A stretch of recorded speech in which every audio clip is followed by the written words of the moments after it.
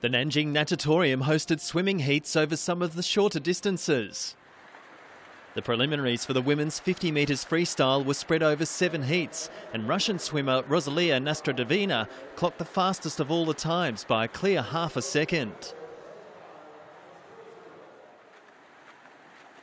The second fastest qualifier was Ami Matsuo from Australia.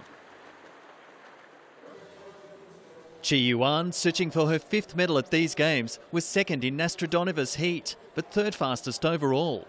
Two gold medals, a silver and a bronze medal were an impressive list of achievements to this stage for this rising young Chinese athlete. The heats for the men's 100 metres freestyle show just how competitive the semi-finals and final could be, with Yu Hexin from China with the white cap coming from behind to record a time of 50.15 in heat 4. And Matheus de Santana from Brazil hitting the wall in exactly the same time in Heat 5.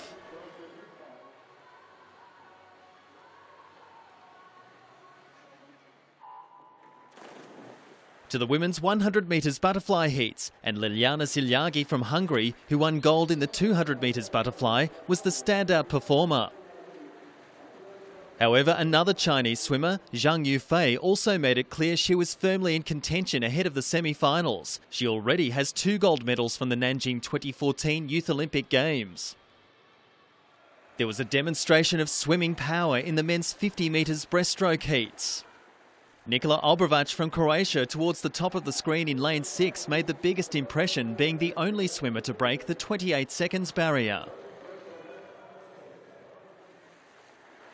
In another heat, Carlos Claverie from Venezuela, who had won silver in the 200 breaststroke and bronze over 100 metres, showed he could be amongst those contesting the gold medal with another encouraging performance.